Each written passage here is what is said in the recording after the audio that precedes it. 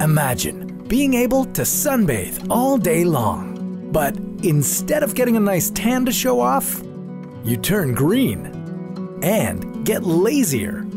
Don't worry, it's not the end of the world. In fact, this might be the first time that humans actually save the planet. This is What If, and here's what would happen if humans could photosynthesize.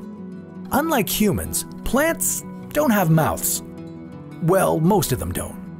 But despite not eating any food, lots of plants can grow bigger and stronger than any of us. And they don't even have to get angry. That's because through a process known as photosynthesis, plants are able to convert water, minerals, and sunlight into energy. But photosynthesis isn't just a process that feeds plants, it's also the reason you're still breathing. And why everything on this planet hasn't been fried to a crisp yet. Imagine you could do it too.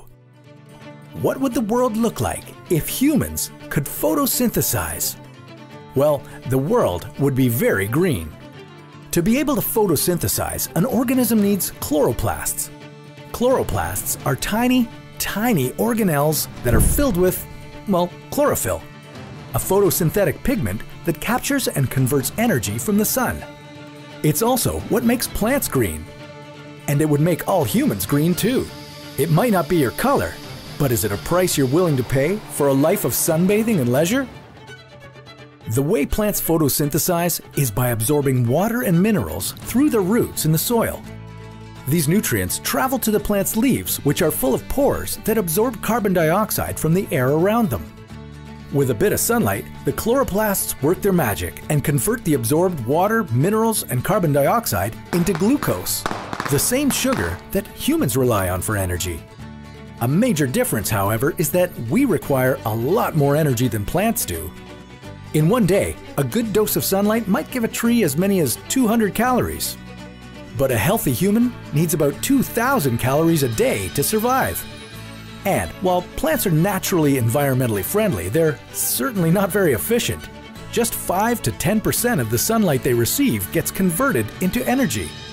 So, if humans are going to photosynthesize, we'd better get good at it. We would probably evolve to become a lot bigger to absorb enough light to feed and grow. And just to get the right amount of daily calories, we'd probably have to lie out in the sun all day and do little else.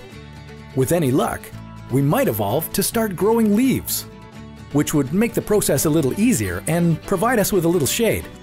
But our bodies would have to be 100 times more porous just to absorb the amount of carbon dioxide we'd need.